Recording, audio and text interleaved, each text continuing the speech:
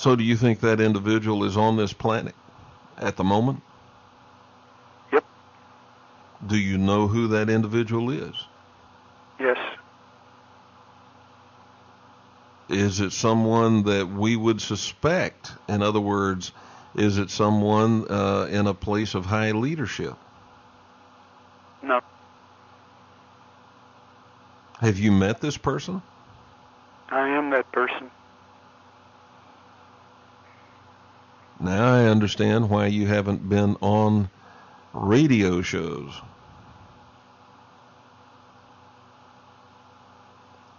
So you you are you're saying to us that you are the person that makes that decision? Yes. Of course, I'm under a deal of pressure. The community of ETs have wanted me to make this decision a very long time ago. Very pessimistic about humankind on this planet. Are you from this planet? More so than you. How how is that possible? And just say that I've been here a very long time. Okay. So um, you've been here longer than your current human years. Yes. I've been through this so many times and elsewhere too. On other planets. Far, far away. Some some within a few light years. Mm-hmm. Relatively, you know, 30, 40 Ha- light- have you been through it here on this planet with previous civilizations on this planet? Yes. How many how many uh, phases of civilization then clean the planet off and then start again? How how many times has that happened? On Earth? Uh-huh.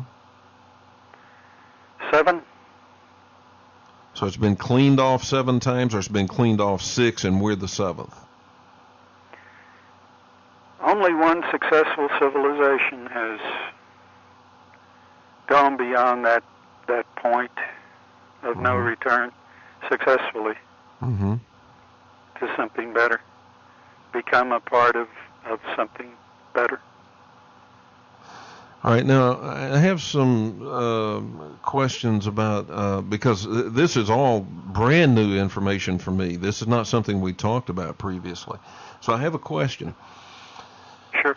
Back when you were four years old, and all of this stuff was happening, and then when you were six, and it you had these guys, these men in black, and the, the strange experiences you've had through your life. At what point in this incarnation do you begin to realize that you are what you've just told us? When there was a attempt made on my life when I was six years old. Okay, man. I wish we had time to get into that. We just don't. We're we're almost out of time. Would you be willing to come back and talk with us again? Yes. Okay. Well, folks, I, I'll tell you something. Uh, I, I told you right at the beginning that his views and perspectives do not run on the same rails that most of ufology runs on. But I found it to be so interesting and so compelling that I thought you needed to hear as well.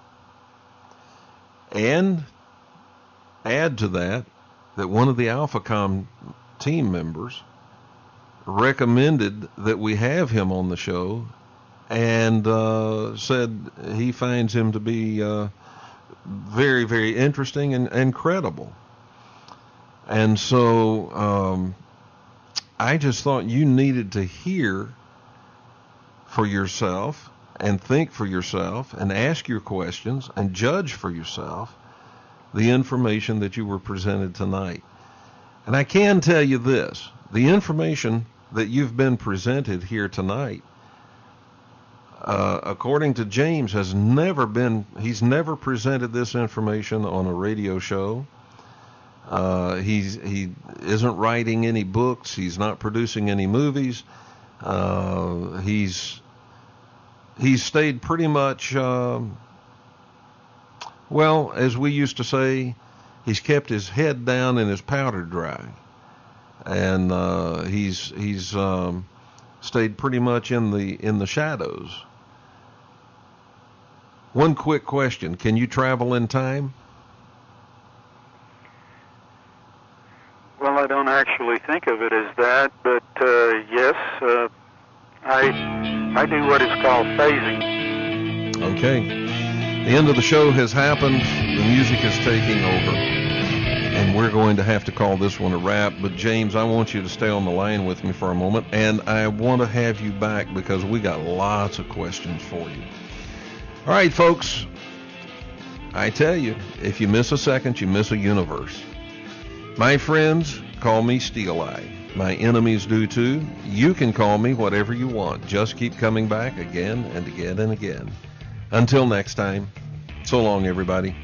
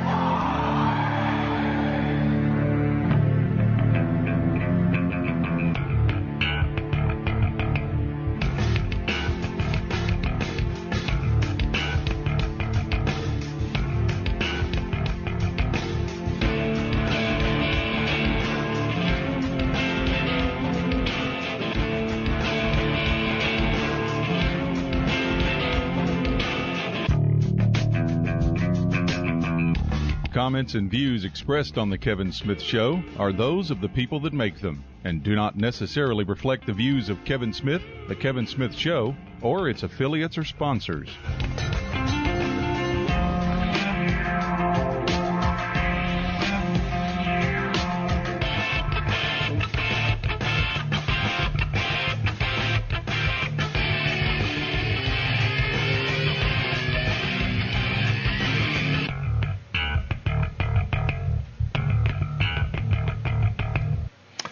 Hi, folks. Welcome to the Kevin Smith Show, whoever you are, wherever you are, all around this beautiful place we call Earth.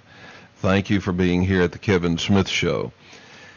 It is talk radio like nowhere else on Earth, and it is the radio show where you matter. Don't forget, if you have not yet subscribed to the K Files e-zine, be sure you do. It is our free weekly newsletter being absolutely free and no strings attached, there is no logical reason why you should not be subscribed. You can uh, subscribe by going to my website and click on where it says K Files. We've all heard about Majestic 12 over the years. The Majestic 12 has been the UFO secrecy management agency in the USA for decades. It no longer operates under that name, we hear. The MJ12 Special Studies Group had a lead agency called AlphaCom, which operated under the umbrella of DARPA. Members of the AlphaCom team held above top secret clearances and had access to some of the most closely guarded and most highly classified information related to UFOs and extraterrestrials. The AlphaCom team leader was a consultant to the President of the United States and to the National Security Council on extraterrestrial matters. Now deceased, he and his second in command briefed President Clinton and Vice President Al Gore on extraterrestrial reality. The second in command at AlphaCom was Dick Criswell, who has appeared as a guest on this show many times. Just a side note, Dick Criswell is in the hospital again, but is recovering quickly and is expected to be able to go home uh, sometime this weekend. Now, several members of the AlphaCom team are regular listeners to this show. They prefer to remain unknown and out of sight. And so uh, they seldom call in, although once in a while they do. However, one of the AlphaCom team members recommended to me that I invite tonight's guest to be on the show with me. His comment to me was that this was someone from whom he had gained a lot of information and knowledge about extraterrestrials. He said that what this man has to say is not in line with what most people say about UFOs and ETs. But he said he found him to be very credible and a fountain of valuable information about extraterrestrials. So, after talking with my guest for over two hours, I had to agree that his information does not run on the same rails as most people that talk about UFOs. He has written no book about it. He has produced no movie. He does not speak at conventions, and so far as I know, has never granted a radio interview before tonight. He will join us on the other side of this break.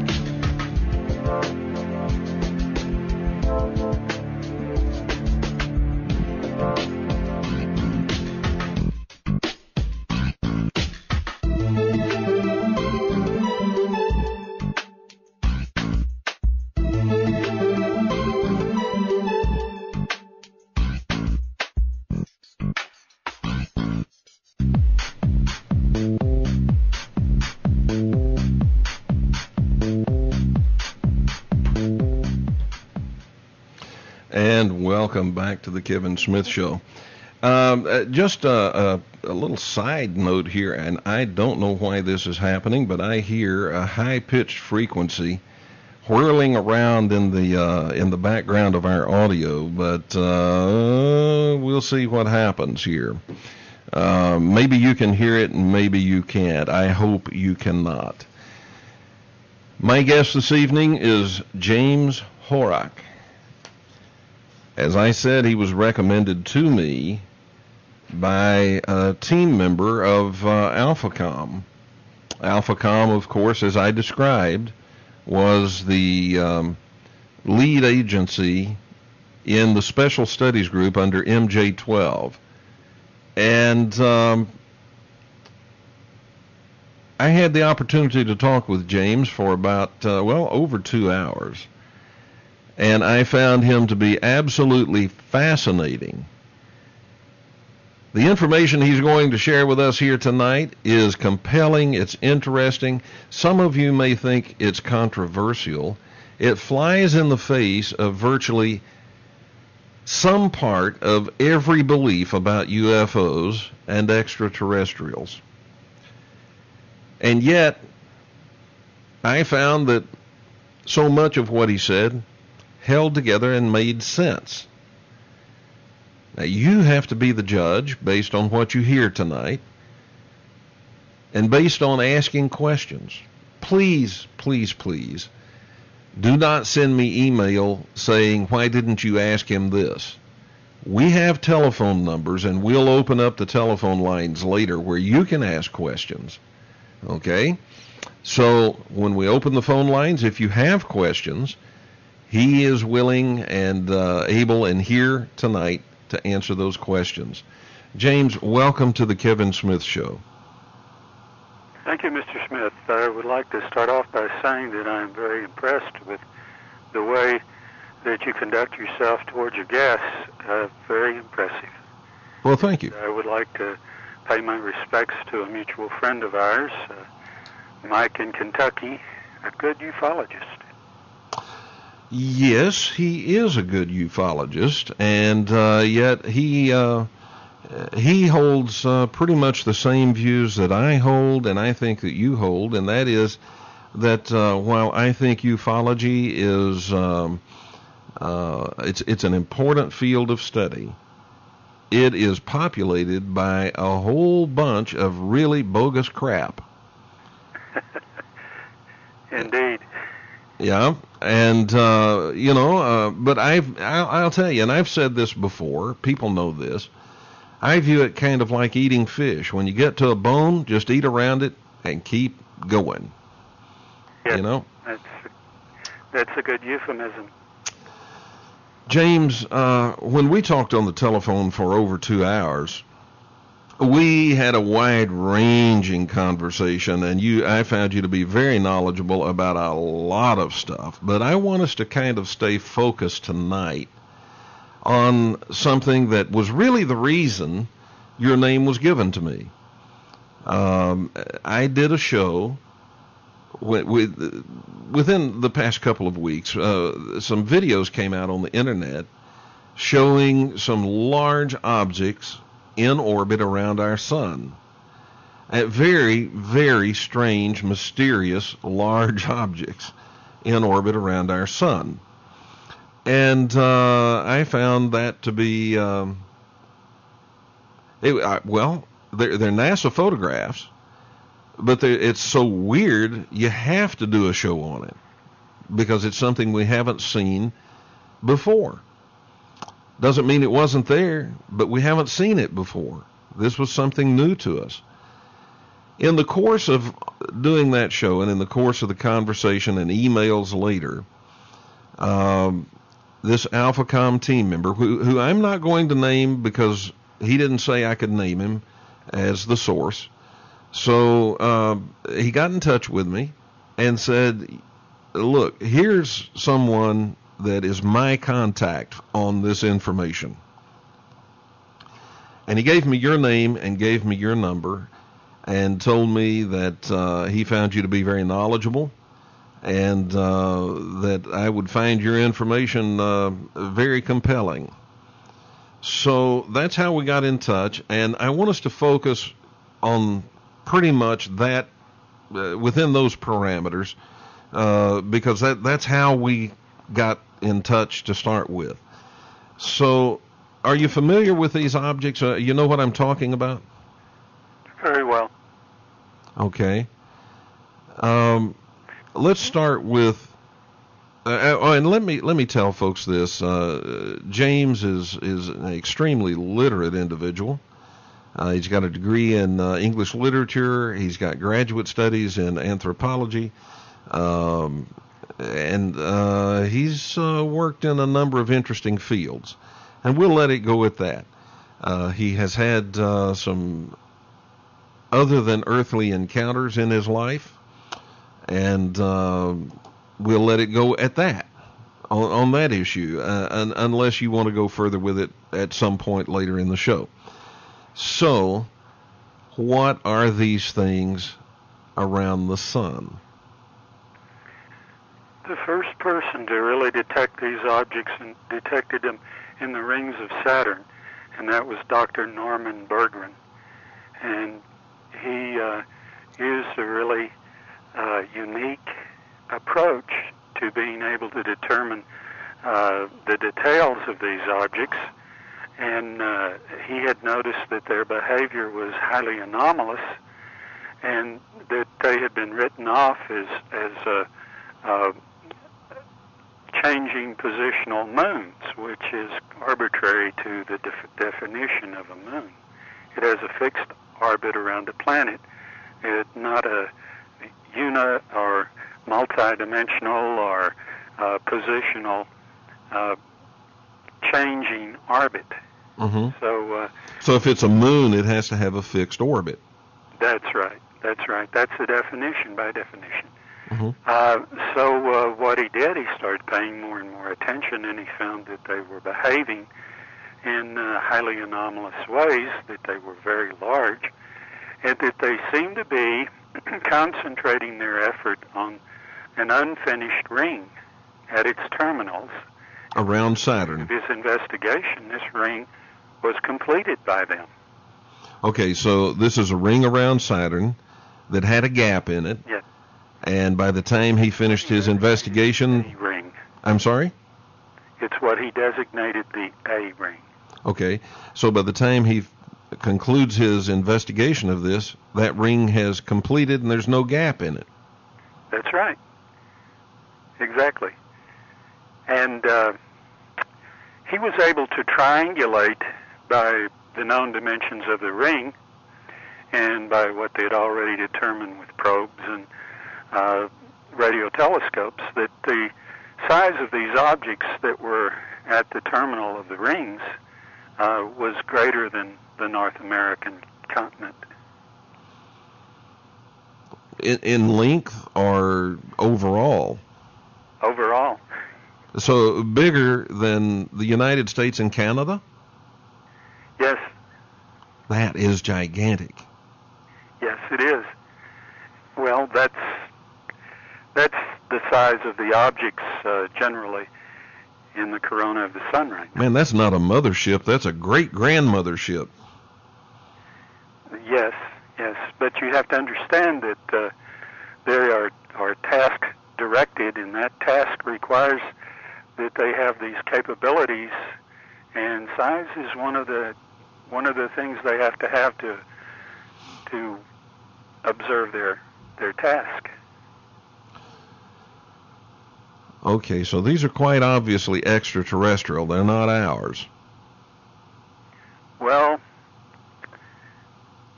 I I think extraterrestrial has uh, has has too general a meaning. Uh, they are more than that, uh, and uh, uh, you you distinguish between things to to get a precise understanding hmm of them, and and that's required in this case because uh, that suggests that they are instruments of extraterrestrials, and they're not. Okay, uh, now, now you have thrown me for a loop, and probably a lot of the audience with me. Uh, They're not extraterrestrial, so what are they? I'm going to read you a thing, something that I wrote uh, just recently to a, a, a young poet who that uh, I have a dealings with and and who I respect and who over a period of time he and I have uh, almost uh, an affinity through poetry. And what I'm going to read to you uh, is going to sort of give a direction to our discussion that uh, is, well, it's self-explaining, and it avoids uh, some misunderstandings that uh, we might have in a general course of just question and answer. All right. May I read it? Sure, go ahead. This uh, poet, before I read it, this poet uh, had been interested in uh, discussing the threats that he saw coming about due to changes in the body politic of the world. And uh, he saw it as very threatening, and so do I to some extent. And uh, out of his concern, since he is religious as well as has a, a, a very uh, beautiful ability as a poet, I, I replied in this way to him. In the order of things are many worlds, all emanating from one sentient source, a source that anticipated all things and set about constructs to survive what was worthy. Each of us have a piece of the worthiness, but that is sometimes betrayed, as you fear, by agendas that go beyond sanity. When the worst, such as you describe, reaches the inevitable, it is ended. At this moment, even NASA has admitted are vast objects within the corona of our sun. Some, always there, now is a gathering of many. They have protected this planet from countless cycles of coronal mass ejections that would otherwise have decimated all lineage of cultures present on a relatively short historical rather than geophysical basis.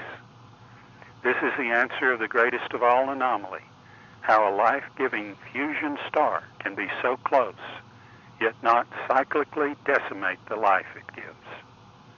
But at the same time, these objects can serve the opposite extreme when what occupies a planet is sentient, turns on its own in a manner we have described.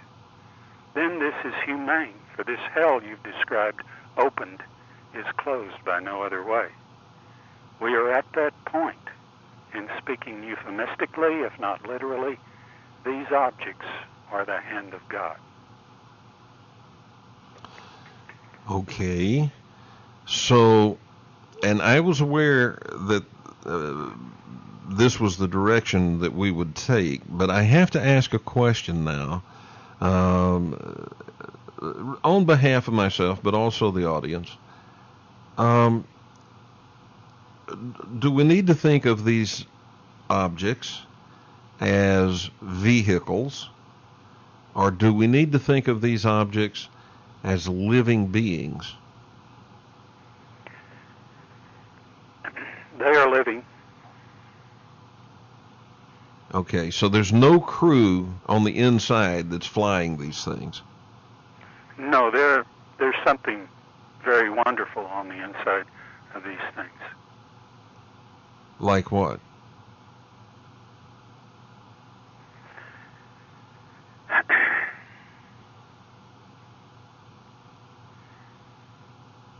It is very difficult for me to, to reveal because uh, it cuts across so many beliefs, so many mindsets.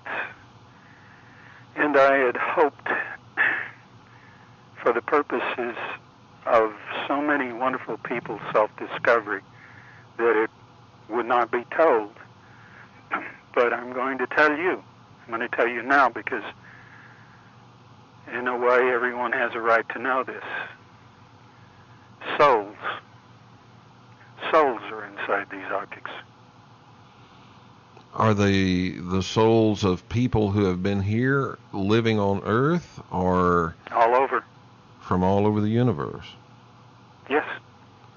Okay, so these objects, um, are they material? In other words, if we could float up next to one in a spaceship and roll down our window and reach out, could we knock on the side of that with our hand? No. You can't approach them. ET cannot approach them. But if you could, are they material where you could touch? I mean, if you could approach them, could could you touch them? Are they material? Or are they ethereal? They they are an energy. They they are a, a, uh, they have form, but they are blinding. You can't see their detail. Uh, it's uh, you can see. Bergrun detected their marks on the moon and on Mars, and he was right. I don't know how he made the leap, but he is correct. And uh, he does know, and he, he's very correct in the, in some of the features that he's seen as they go about their work. But uh,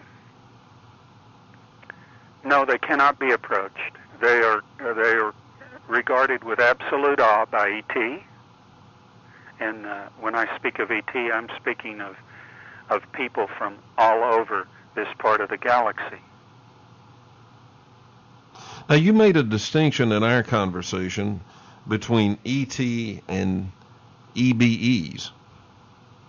Yes, Okay, very important distinction. yeah. Well, uh, share that with the audience. Um, we've got about a minute here before. No, we got about 30 seconds. We'll do that when we come, when we come back uh, because we have to take a break. But um, uh, I think it is an important distinction between EBEs and extraterrestrials. Uh, and um, the question I'm going to ask you when we get back is this. I'm going to ask you to describe for us the difference between them, and then can EBEs be extraterrestrial in origin, or are they from somewhere else? We'll be back right after this.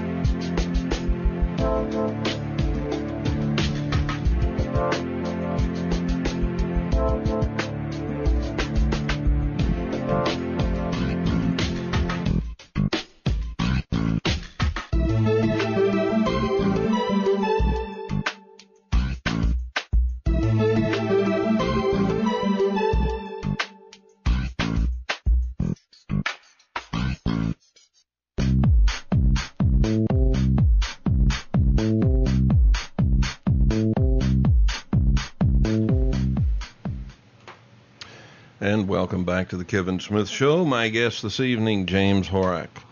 Um, James, um, I asked a question about the EBs, EBEs, and the ETs. First, tell us the difference between them. Well, this is nothing really new. The Air Force knew uh, and designated them in their own nomenclature EB, extra biological entity which meant that they were bioengineered and uh, not species.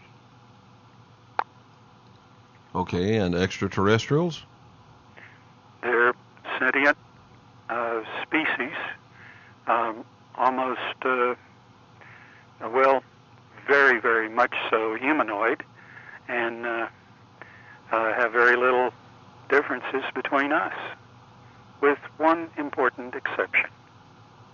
And what would that be? have a unified consciousness. Okay, describe that for us. They don't have a, a split mind, a divided house. Mm-hmm. They don't sublimate dichotomy. They don't divide everything up into good and evil, black and white, uh, right and wrong, which avoids a lot, a lot of problems. Well, it would be uh, difficult for us to imagine how you could not have problems if, I mean, for us, if you don't identify certain things as evil and avoid them, uh, then you would do those things and then there would be conflict, right? Well, you have to understand they've survived uh, by the virtue of being in our neighborhood from time to time. They've survived star travel technology, which re- which means that they have removed aberrancy from the species. Because when you have Star Trek or star travel technology, you have you've placed in in uh, potentially in one person's hand the the ability to destroy everybody. Okay, now when you say they have removed aberrancy, what what do you mean by that? Well, like uh, your suicide bomber, like serial killers, like pedophiles, et cetera, et cetera, et cetera. Okay, now how have they removed all of that from their culture? Well, first of all, they they don't have the social injustice that seems to breed it. Uh, they don't have a problem with the distribution of wealth that seems to breed it. They don't have social engineers working on uh, efforts to mind control people into the into doing uh, things against their their own self-interest. Uh, the uh, aberrancy has a source and has a cause. It's not just happenstance or genetic. Mm-hmm. And uh, if you go about correcting any problem effectively and you're not at counter purposes with each other, like is so common to a, a divided mind, uh, yes, you can solve these problems. Sometimes you have to do something with uh, genetic flaws, but that's not a good idea unless you have to do it. Okay, now how I, you know at you're talking to us about what these things are that are around the sun. I want to talk a little bit about uh, what are they doing and uh, what are they up to. But before we get to that, um, how do you know about all of this? I have an affinity with the EMVs. What are these objects in the sun? EMV? What does that stand for? Extramagnetic or electromagnetic object, and th- this is a name that Dr. Bergrun gave them, and I, I honor his discovery and his work. Mm-hmm. Okay, so uh, when you say you have an affinity with them, um, describe that for us. Uh, what what does that mean? Well, I'm part of them. Okay. Now you have to elaborate on that a little bit because you know you're thinking way beyond where most of us are. So you're going to have to bring us along a little bit. What do you What do you mean you're you're part of them? Well, to begin with, I was an anomaly from my birth, and uh, at two years old, I was playing in drainage ditches with snakes and laying in beds of red ants and stuff like that. And run. At four, I was running off with my dog. Uh, uh, behavior that is typical of older boys. And uh, then there was an event that happened that uh, pretty well uh, demonstrated some of my uh, characteristics to the establishment when I was four. Okay, describe that event for us. I was born in New Mexico. My mother had left my father and come and come to live with her her father. And uh, she had a job in Las Vegas, New Mexico, where I was born. Something happened, and she came to Texas with me, uh, her brother, and her cousin. And on the way, uh, there was an attempt to abduct her. And uh, well, who who tried to abduct her? Yes. Yeah, who who tried to abduct her? There were two UFOs. Uh, what I remember is that uh, we were coming to the last, coming out of the last town in New, in New Mexico before you hit the New Mexico Texas line.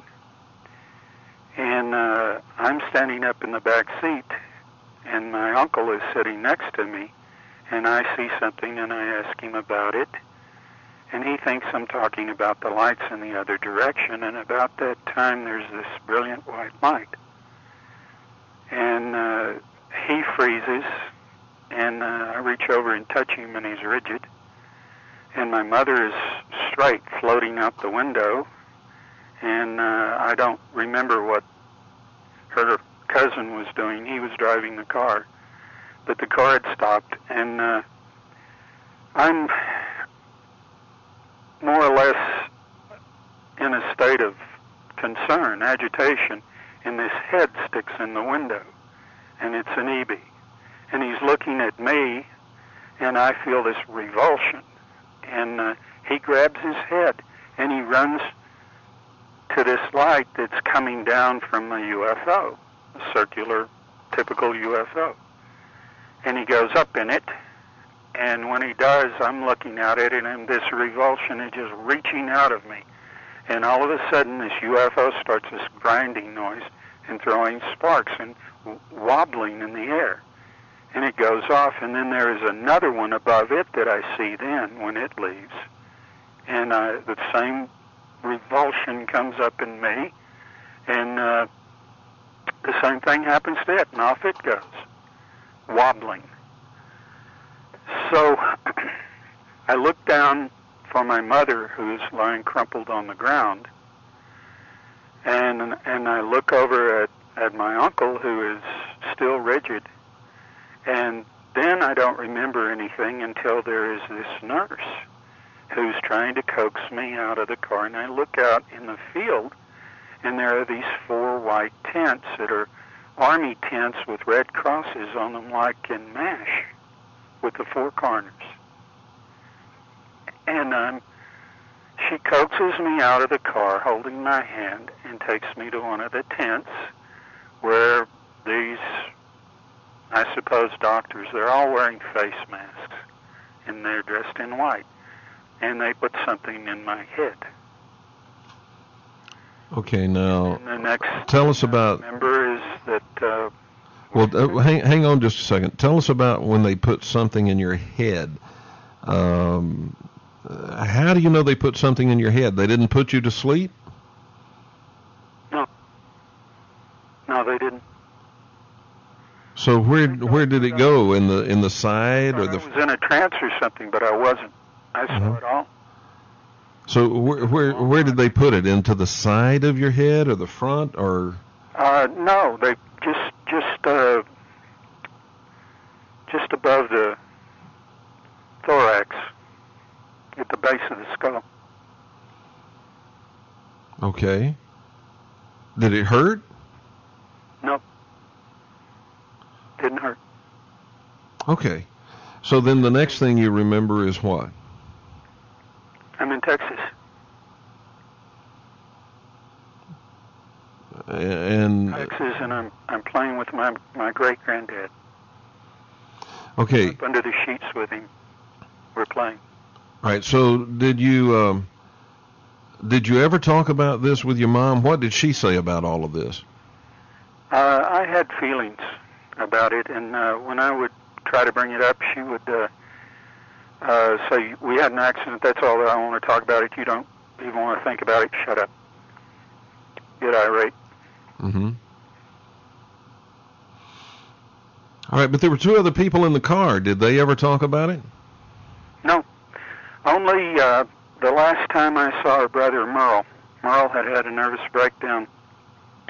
I suppose overseas during World War II. And uh, he came home, uh, got his act together, and had a happy marriage, working as a high, high power man, uh, uh, the power high lines, Mm-hmm. and uh, living in Wichita Falls, and married to a very sweet lady. And uh, one day just went off his off his nut. And after that, he was in and out of VA hospitals until finally he died. But uh, I was driving him down to Waco to the VA hospital from Fort Worth uh, the last time I saw him. And uh, since we were alone, I said, uh, Merle, uh, what happened in when we were coming to Texas from New Mexico? And he says, Your mother will kill me if I tell you. I said, I want to know. I have a right to know. And he said, Well, uh, something stopped the car, and uh, there was this white light. And he said, Then they put something in my head in the tent. And that was it. That was it. Okay, so he got something put in his head as well, huh? Yes, I think they they put those tents up, one for each of us. That's what I think.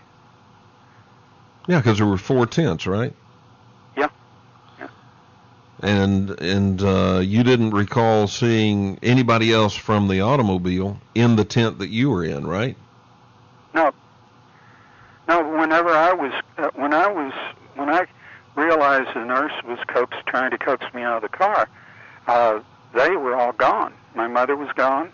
Uh, Merle and Carl, her cousin, that was driving the car, they were gone. So I would suppose they were in the tents. Had already been taken. All right. Do you um, do you are you aware of any effects from whatever it is they they placed in your head? No, but I remember a follow-up that was done that I haven't told you about. Okay. Hold that thought and tell me when we come back from this break. We'll be back, folks, right after this.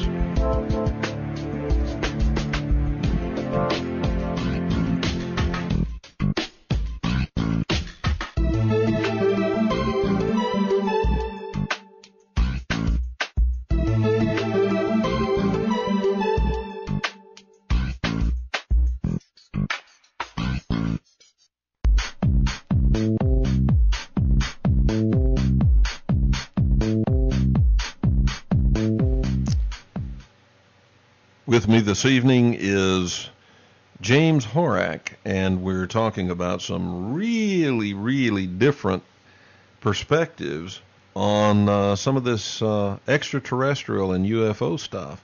James, when we went away for break, you were about to tell us you said there had been a follow up. Uh, I want you to be able to complete that.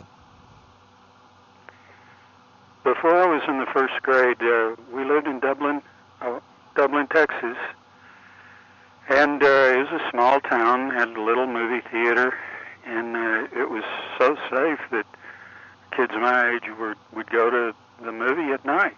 And Mhm. uh, I went to a movie one night at the theater. It was Cleopatra, Cecil B. DeMille's Cleopatra, with Claudette Colbert. Mm-hmm. And uh, when I walked up to the theater, there was an army truck outside uh, with these huge tires. It was that uh, army green with the star on the door. Very high up. I couldn't have gotten in it. And uh, so after I pay my dime and get a nickel bag of popcorn, that tells my age. I go inside, and when I walk in, there are four men in black suits wearing sunglasses. And uh, they're positioned at different places, and as I go to take the seat, I see two more. Uh, the theater was owned by a man and his wife, Mr. and Mrs. Blevins, and they had uh, one worker who was uh, a World War II veteran and a friend of my stepfather's who real neat guy. His name was Pruitt, and uh, they uh, Mrs. Blevins walks up to this to uh, the screen, and there's a, a ledge, kind of like a real shallow stage.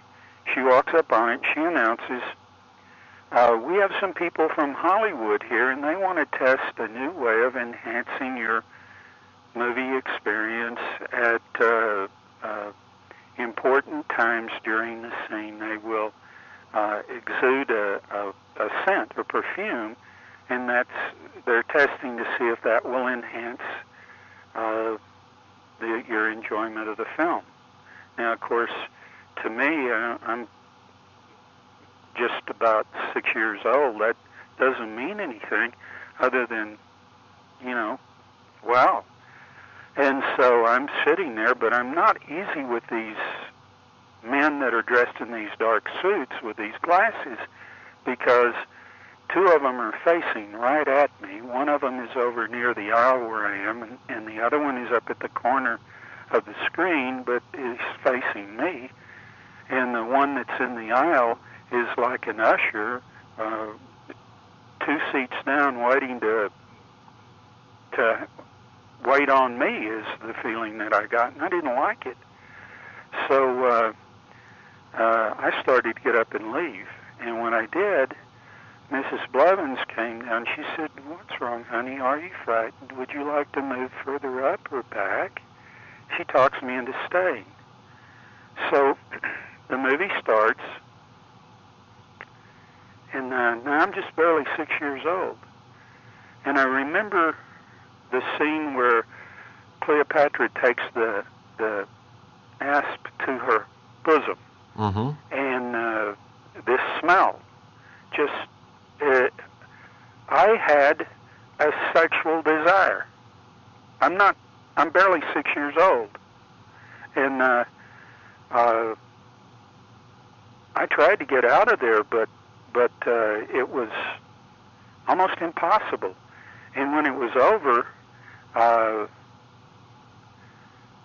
I I I can't describe how I felt, but I know it was part of some kind of a program, uh, and that uh, they weren't going to let me leave that theater until I was through it all, whatever it was. But uh, uh, it did alter some things in. Did did these guys, uh, these men in black, did they um, uh, talk to you? Did they interview you? Or Oh no, no, they didn't speak at all. But uh, when later on, when I asked Mrs. Blevins about it, maybe two or three weeks later, it's hard to remember. Uh, her reply was, "What are you talking about?" She didn't remember it. Another person, another, another, another kid in there that I knew, that I mentioned it to later on in a very strange situation, and uh, he remembered, but it didn't have that effect on him. He And- said he just smelled nice. And Miss Blevins didn't remember. No. Oh no. Or at least she said she didn't remember. She said she didn't remember, hmm and I believe her. Okay. So you've been you you've been a, you served in the Navy. Uh, you've been associated with uh, I think it's safe to say some weird stuff for most of your life. Um, and uh, you're saying that you're part of these objects. And what I'm trying to sort of get a feel for is, I, I still don't understand how you, how it is that you're part of them. Do they, do you receive thoughts from them? Do they communicate with you? Um, uh, what what does it mean when you say you're part of them? There, there were strange things that happened to me over the period of my life, but there was a, an incident in Utah that uh, opened all that up to me. Okay, tell us about it. There's a place in Utah which uh, I've suggested people go to. Uh, Dr. Greer, whenever he first uh, became interested in trying to uh, pursue contact, I told him if, uh, if I didn't speak with him, I spoke to his assistant, who didn't seem interested at all. I told them if they would go there, they could, they would have contact. There is a a place in a national forest in Utah where there is an ongoing uh, operation that is uh, part of what EMVs do. Okay, now, uh, hang on a second. When you say there's an ongoing operation, and it's part of what the EMVs do, is this operation an operation that's being done by our military in cooperation with EMVs, or is it being done entirely by the EMVs? They have the EMVs have nothing to do with with uh, the military or or the intelligence community at all. Nothing. Okay, so so this is something the EMVs are doing on their own. Yes. Okay. and uh, but but the area is constantly being monitored by feds who have built an underground complex beneath the La Sal Mountains. Okay. Out uh, teams that that scour this area to try and keep people out of it. They can't ban people from being in there because there are a number of miners that have placer claims in there, some of them patented hmm wood. And what happens in there?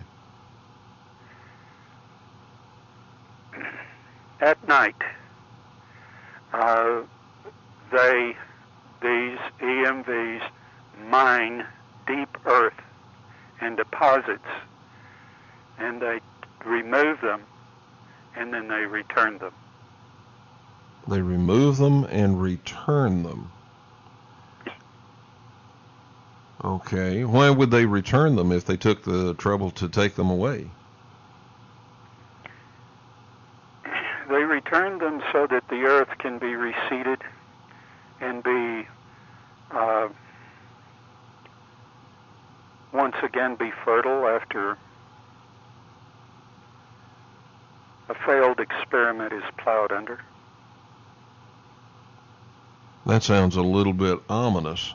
We have to step away for break, and uh, we'll come back and pick up there. and then we'll open up the phone lines. Don't go away, folks. More from James Horak right after this.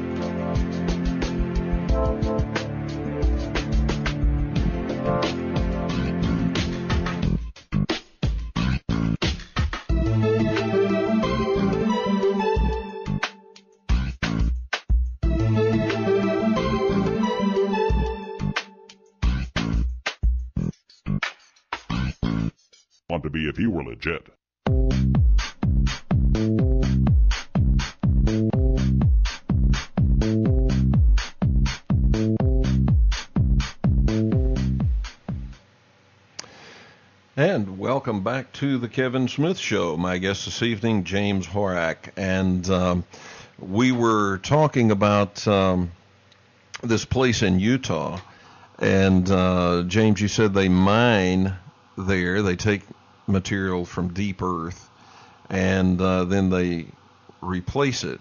Uh, are they doing some kind of process with this material before they replace it? It is what they're putting in the rings of Saturn. Okay, well, if they put it in the rings of Saturn, what are they what are they putting back into the Earth if it's going into the rings of Saturn? They bring it back and then it, and they they replace what they took with what they've they took. Uh, it's a back and forth operation. So Oh, okay, so they they take some and put it in the rings of Saturn, and then they gather some up from the rings that has been there for a while. Yes, Okay. And and this is for the purpose of rejuvenating the Earth. yes, the material uh, is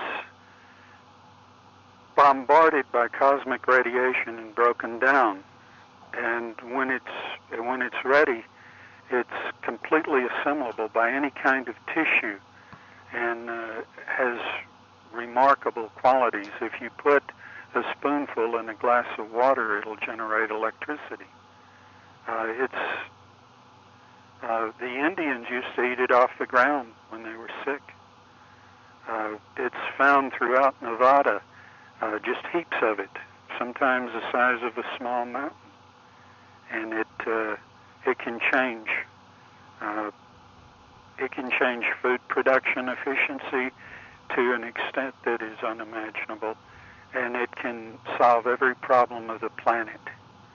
Uh, it is what begins life on a planet. First of all, you have to have a, an, an engineered configuration of this planet with its fusion star. The planet has to have a, a moon around it a, a, a certain proportion, a range of proportion to the planet size to make it alive.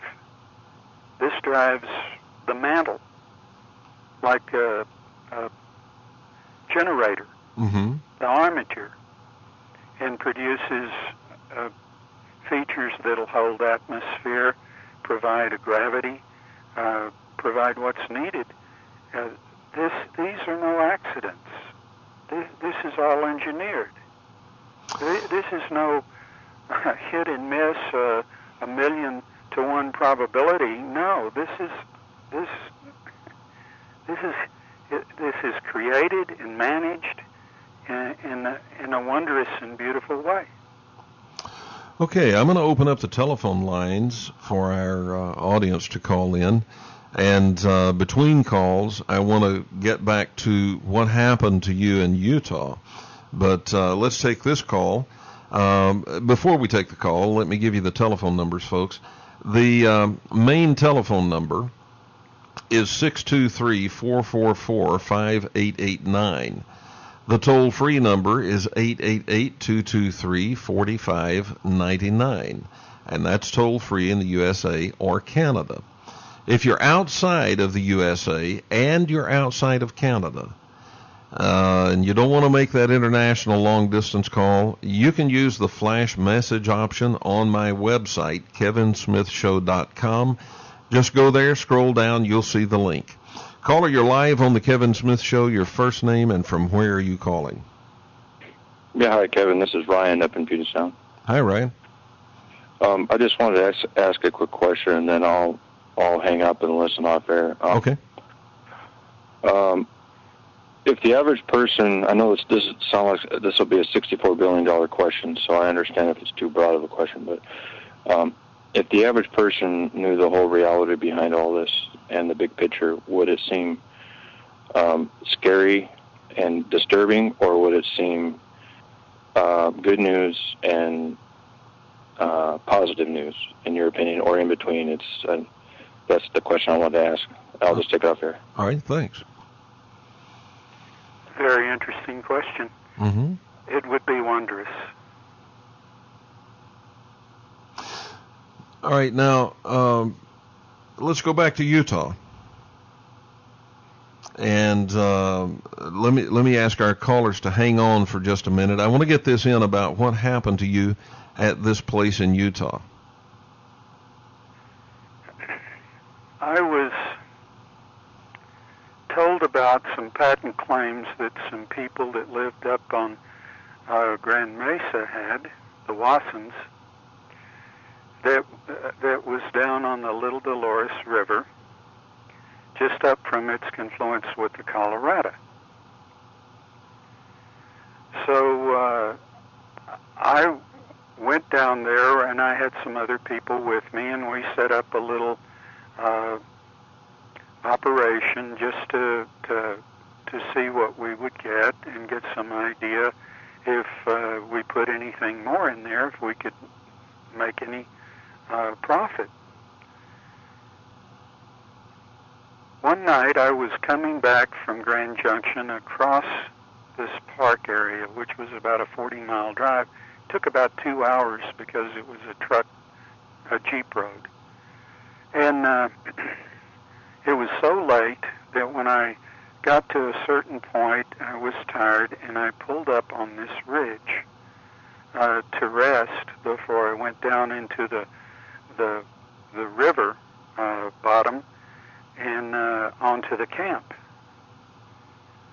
When I I was driving a little uh, Datsun 510 station wagon, and I pulled up the the rear of it to lay down to get a little shut eye, and I noticed uh, a stream of white discs going back and forth, less than 200 yards uh, well, maybe 300 yards from, from where I was.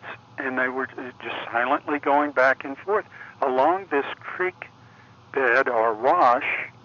And then they would go down to the right, just almost out of sight, and I could see them turning around a Castle Rock and coming back.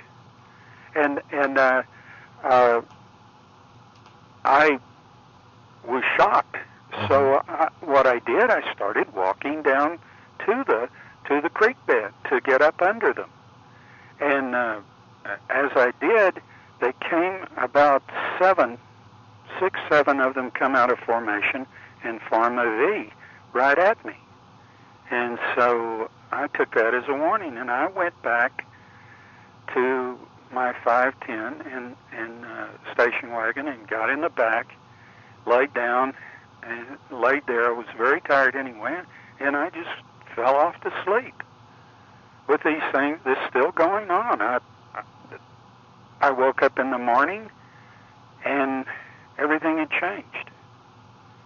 All of a sudden, it was like I I it was like a my mind was like a computer hard drive that had been blank, suddenly filled with everything in the world, and connections. Uh, uh, in the days that followed, I kept having these dreams, and I was seeing things that, that like going places and and in deep space and seeing things that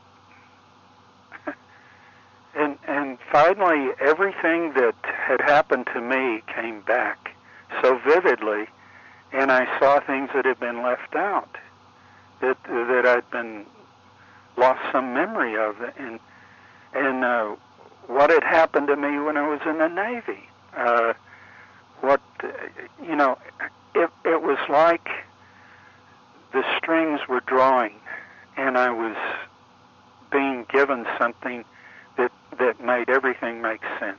And from that point on, it just uh, everything changed, and and I began to to experience a relationship that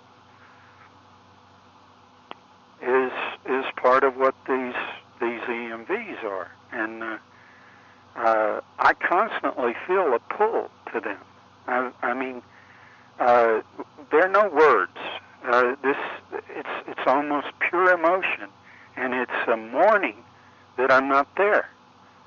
Uh, I know I've been there. I know I can see what's inside them, uh, and it's it's it's the most wonderful thing you can imagine. And I long to be there, but uh, uh, I'm needed more here. Okay, let's go back to the telephone, and we'll discuss that some more here in just a moment. But let's uh, take this call. Caller, you're live on the Kevin Smith Show. Your first name and from where are you calling? Yeah, it's Kevin from North Bay, Ontario. Hi, Kevin. Hello there, Kevin. Hello there, James. Hello. Hello, yes. Um, very, very fascinating show tonight, guys. Absolutely. Um, James, uh, through your, your, your contacts, um, your, do you think that there there's something to do with 2012 that's happening with uh, with these objects out there? Is there anything to this that what the Mayans knew about, and perhaps perhaps an ascension to uh, to higher consciousness along with whatever else is going to happen on the planet? Well, Kevin, you, you've asked uh, germane question that, that I know is on everyone's mind, but uh, I'll say this. The social engineers responsible for trying to implement the monstrosity they're trying to put on people are following uh, the Armageddon scenario to the T because they think it will lend them power.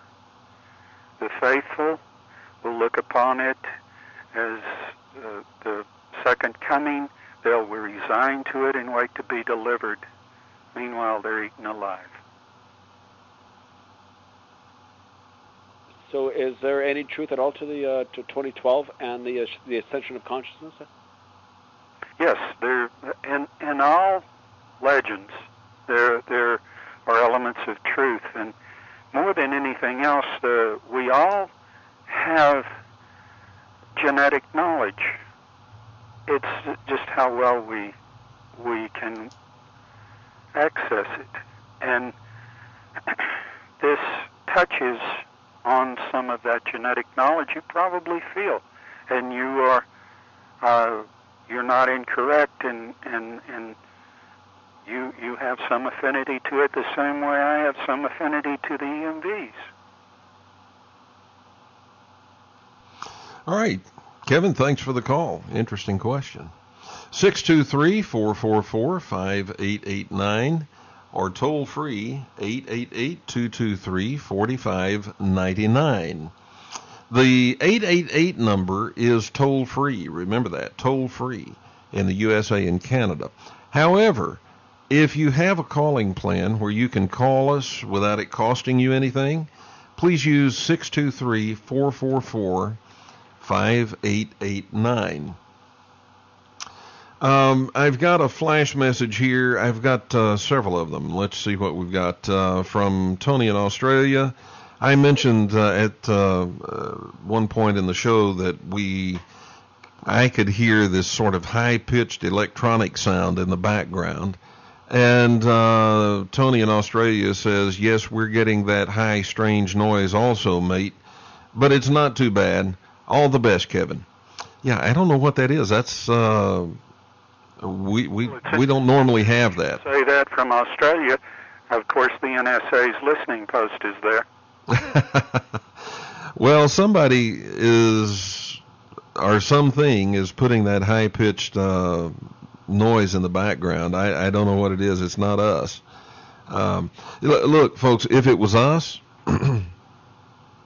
I would see it register on the meters on my uh, on on my monitors here. Uh, but what I'm listening to here is what you're listening to. So I'm I'm hearing it as it's coming back to us. So um, who knows? You notice I have different headphones on tonight, and uh, the reason is the other ones I can't find them. I moved them today, but they are the ones that I listen to or listen through uh, normally, and I hear it before it leaves here. Well, these are not hooked to that. These are hooked to what you're hearing. All right, uh, caller, you're live on the Kevin Smith Show. Your first name and from where are you calling? Hi, uh, John from Vancouver Island. Hi, John. How are you? Um, pretty good. Good. Um, it's quite the program this evening. Um, uh, one, okay, um, one question I'd like to ask is um, the the types of contact that, that James has had is occurring here and now. So, so one question I have is, um, how far back does he think it goes? You mean how far back in in history? Yeah. Mhm. yeah. Like we're here now, and there's this kind of contact. Like, has this been going on like way back in history? What do you think, John? From the very beginning. Okay. Does it does it happen according to certain patterns? Like, um, you know, if we were to look back in history, is there is there a pattern of um, that type of contact? Time wise, I'm talking about. Well, I I don't know about the contact, but I do know uh, that these objects have been around ever since any sentient life has. Okay. So they would be involved in genetics. I, I don't think genetics so much as, as they are the um, mechanical designers of, of systems that can support uh, life long enough for civilizations to, to come and go. Okay. So these are kind of like the mechanical engineers.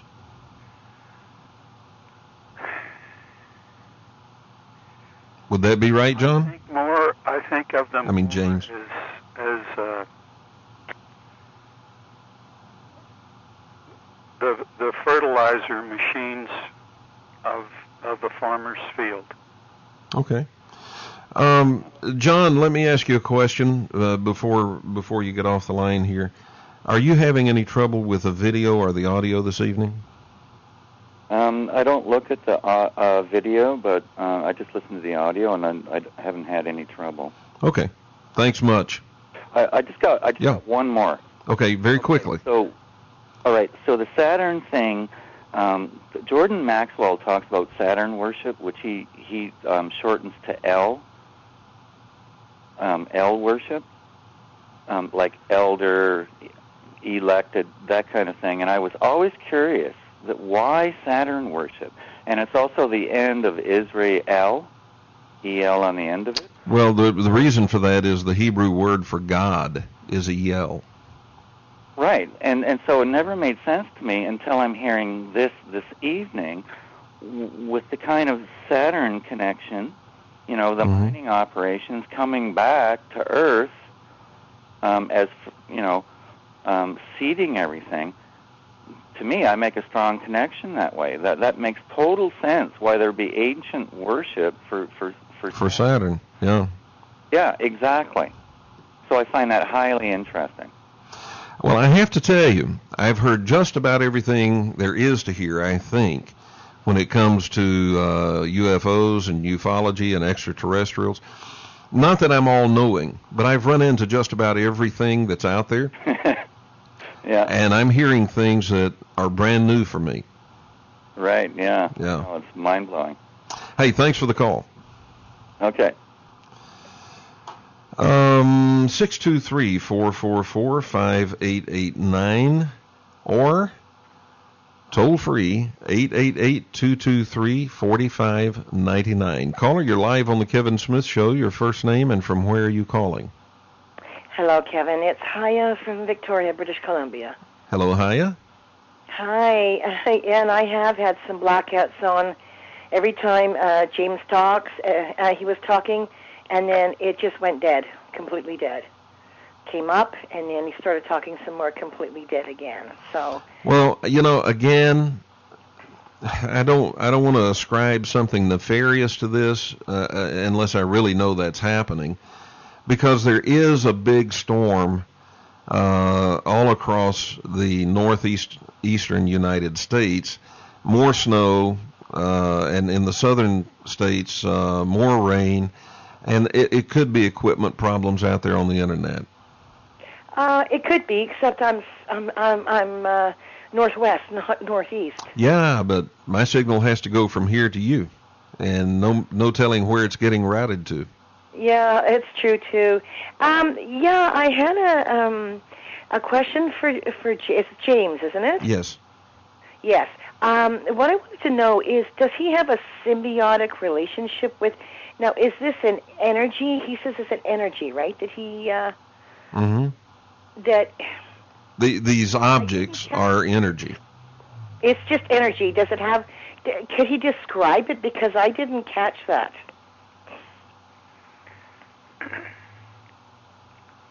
James? There, Yeah. What do they is- look like? uh, there is there is that kind of relationship, a symbiotic relationship, I'm sure, uh, but it it goes much further than that. Uh, I I know I have a history, and uh, there is uh, a pattern to it, and I've been through this many times before. Wow. And you say that you can act. Uh, have you have you been anywhere around the country at all? Yes, Like have you have you traveled in, other areas like UFO areas? Yep. Um, have you ever I've, been I've to? had UFO experiences everywhere I've been.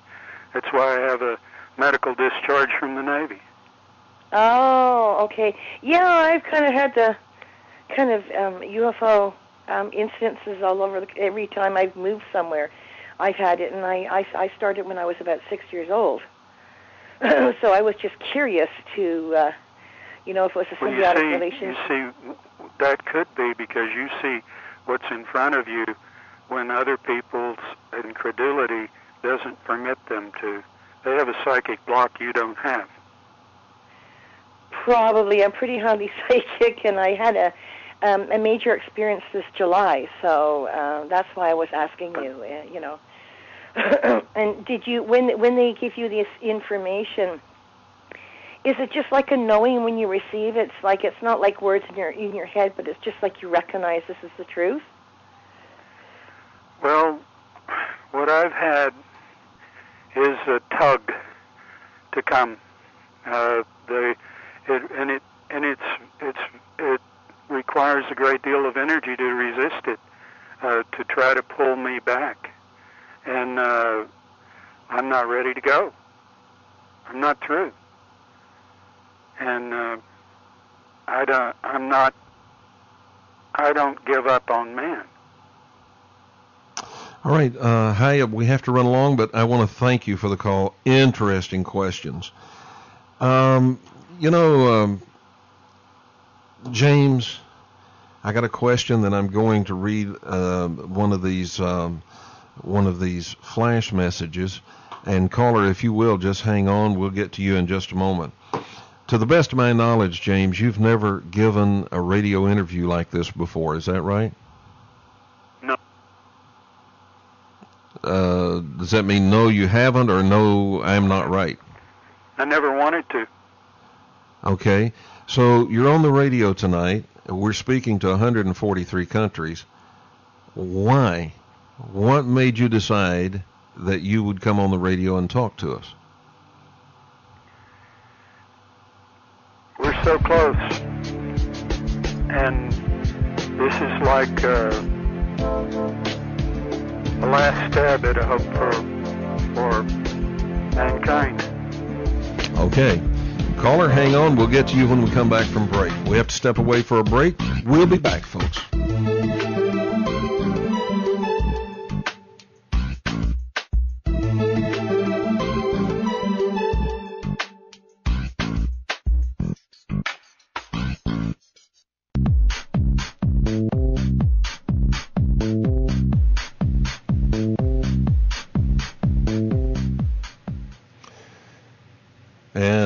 Welcome back to the Kevin Smith Show and my guest, James Horak. James, we have a caller on hold. Let's take this call, and then I want to get back to uh, your answer about why now. Caller, you're live on the Kevin Smith Show. Your first name and from where are you calling? Hey, Kevin, this is Mark from Los Angeles. Hello, Mark. Um, three things. One for you. First off, we're getting a beautiful signal from you on our feed, and of course, going through all the compressors and stuff, there's no noise and stuff, so it sounds great tonight. Outstanding. Um, then two questions for James. He was saying that these objects by, I believe, the sun were full of souls. Is he saying that these are what we would call heaven? Hmm, good question. What about that, James? Well, I, I, I suppose that that's an excellent way of describing it because uh, there's no suffering. There, there's a community. Uh, it's very wonderful. You want to be there all the time. You don't want to leave. When you're gone, you f- you feel a, um, a mournful loss, and you feel their mournful loss for you. It, it, it's indescribable. So you can actually go there and then leave. So it's not like what we would think heaven is like once you pass away, that's where you go then. Mark, you'll be there one day. You know, uh, uh, something just came to my mind about uh, this question because uh, I think, Mark, you will be familiar with this, and, and maybe James, you are. Uh, in uh, the last book in the New Testament, Revelation, one of the last things that happens, it's not the last, but one of the last things that happens, he says, I saw a city come down out of heaven, and he calls it the New Jerusalem, and he describes it and he gives its dimensions, and it's 1,400 miles in every direction.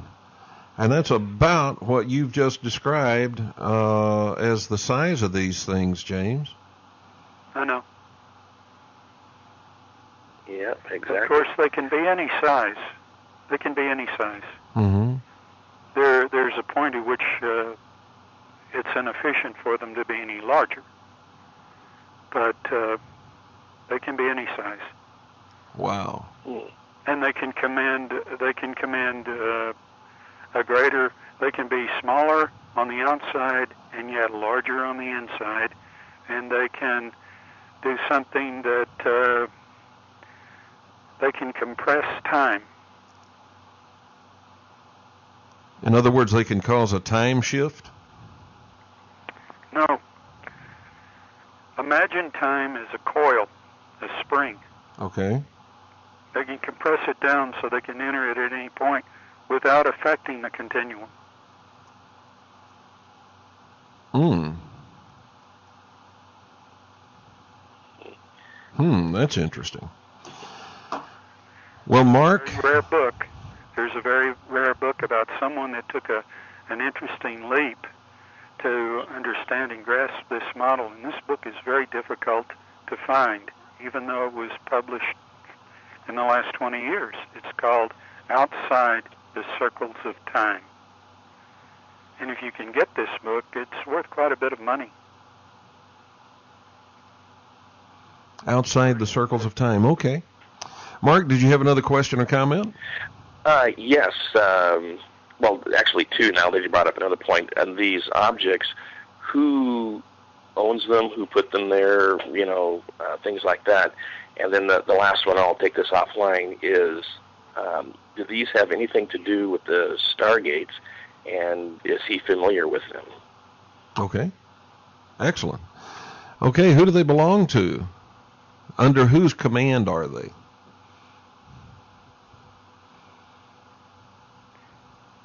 They are task driven. They're like on automatic pilot. Yeah, but somebody had to have given them a task. No, it's it's pretty well automatic. It's uh, it, you know if if you if you need some direction, let's just say it's God. But uh, uh, they they hearken back far beyond anyone's memory. Any ET uh, and they are regarded uh, with awe by ET, or, or all ETs. Are they regarded with fear? No. No. Okay, now do they have any connection at all to these uh, stargates on Earth that we've been hearing about?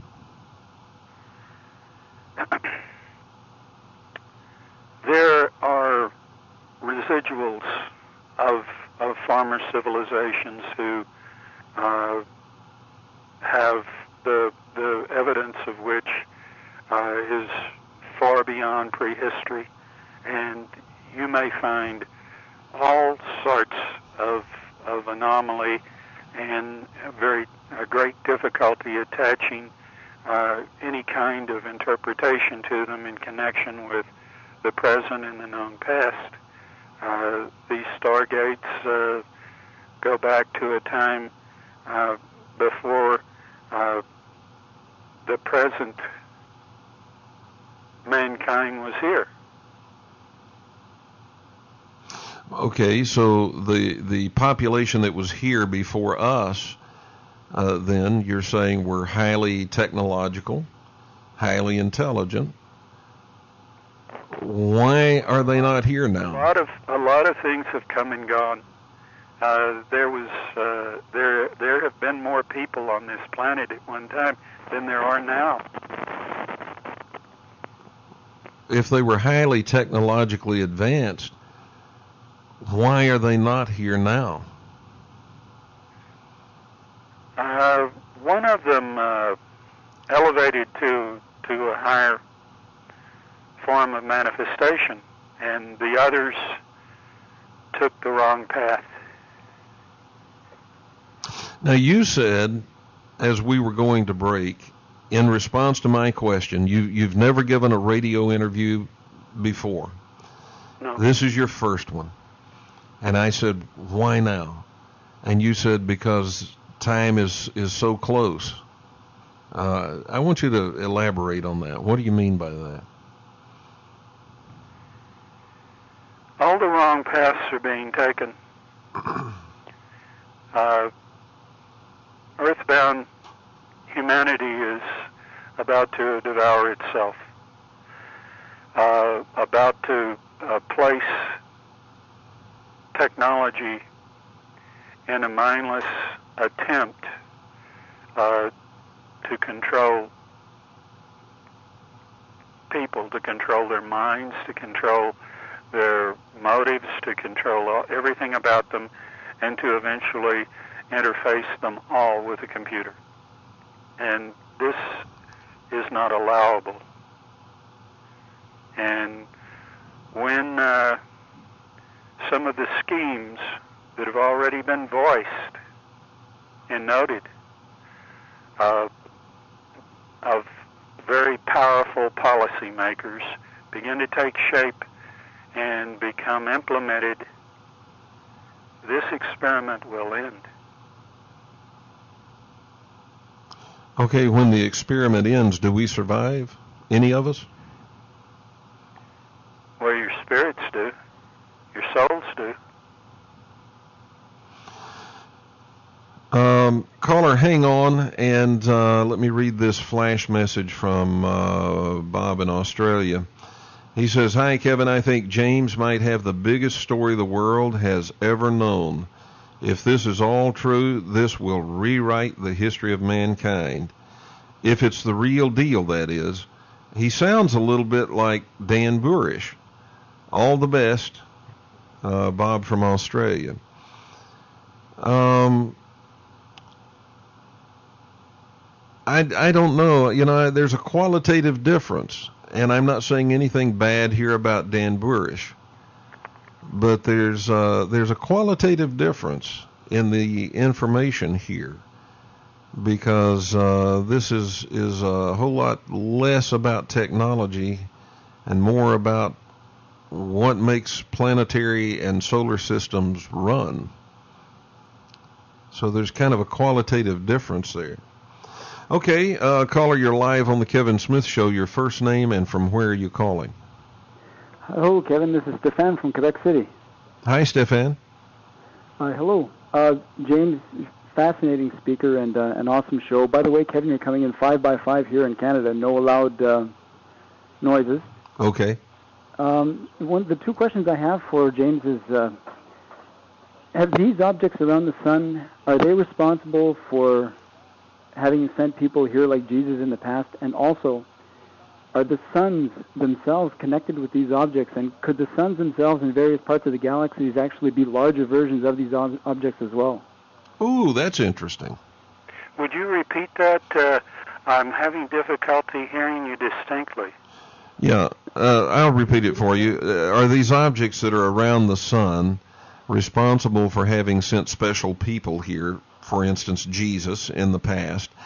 and these objects are in, in orbit around our sun and, and perhaps around other suns. Is it possible that the suns that they orbit are simply a bigger manifestation of themselves?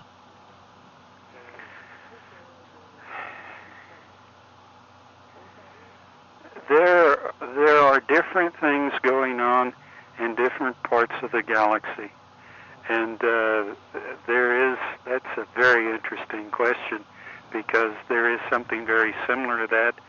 Uh, you've heard of uh, uh, binary systems; they're tertiary systems, and in one there is something very similar to that, to what he describes. I I find that uh, intriguing that he made that leap. Well, he's a pretty sharp guy. Thank you for the show, Kevin, and uh, God bless. I, I never really bought into the whole